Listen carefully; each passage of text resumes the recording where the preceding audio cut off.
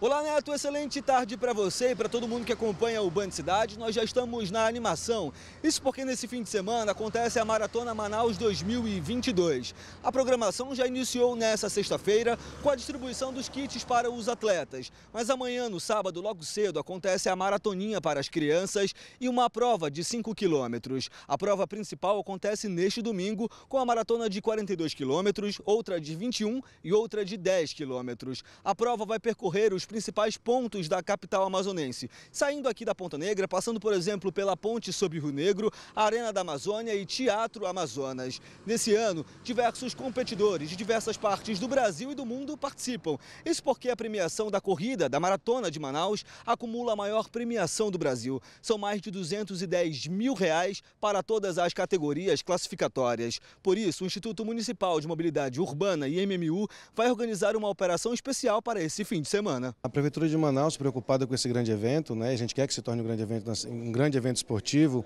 ela disponibilizou para o evento um efetivo de 130 agentes de trânsito que estarão durante todo o percurso fazendo o controle de tráfego e bem como a Guarda Municipal também vai estar acompanhando o trajeto, aproximadamente 35 homens estarão também presentes ali no, na estrutura do evento. Em 2022, a maratona vai celebrar os 353 anos de Manaus. Por isso, os atletas ainda podem retirar os seus kits nesta sexta-feira no Centro de Convenções Vasco Vasques, que fica na Avenida Constantino Neri, zona centro-oeste da capital amazonense. Não há dúvidas de que vai ser incrível. Neto.